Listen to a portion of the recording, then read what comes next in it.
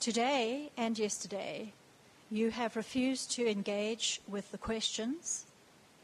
You have your foregone views, which you will not subject to testing.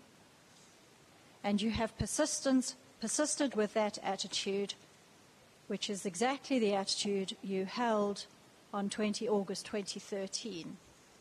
And so I'm going to put it to you that your evidence and allegations are really matters which are you refuse to be tested, you sidestep the questions, and you expect this commission to simply adopt your viewpoints.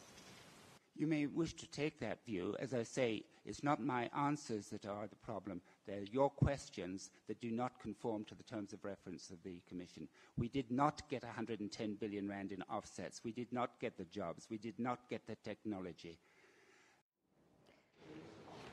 Lawyer Marumo Moerane will cross-examine Crawford-Browne. He'll also pose questions on behalf of the family of the late Defence Minister Joe Modise. The SAFTA claims that Modise died from poisoning and not cancer.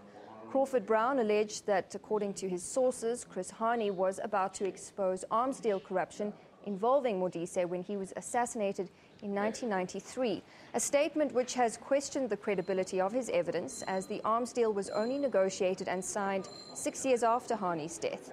The hearing continues. Well, to